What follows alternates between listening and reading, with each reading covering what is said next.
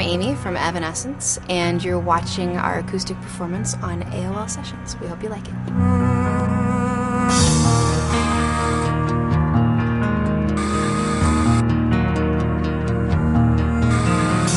I can feel the night beginning, separating me from the living.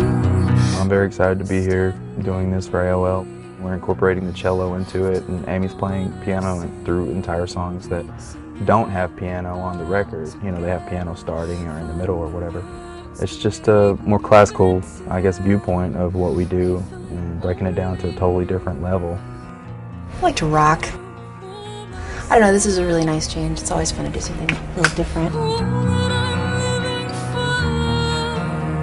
we created almost this like chamber music way of doing these songs that on the record are like these huge rock production. So at first it was a little bit intimidating to kind of see if we could make them work in this more intimate format, but it's it's been awesome. Don't cry to me if you loved me.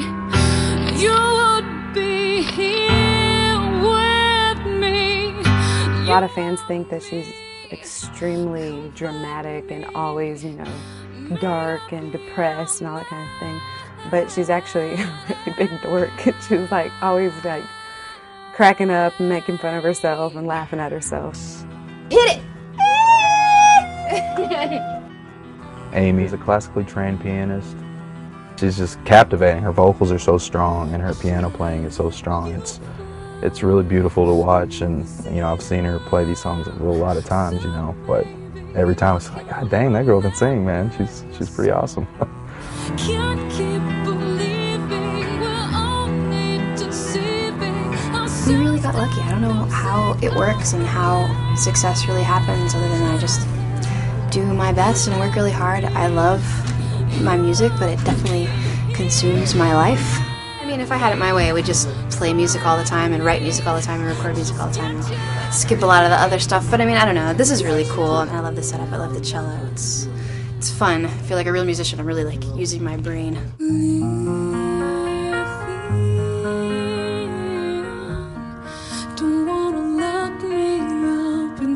I kind of always felt that Evanescence was going to do well. The music always spoke to people.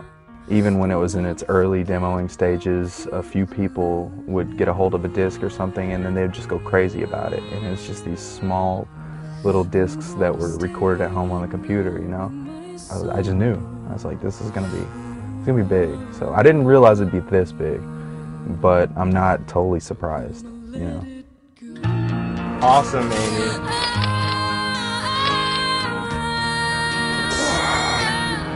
All right, guys, thanks for watching our AOL music sessions. We hope to see you again soon.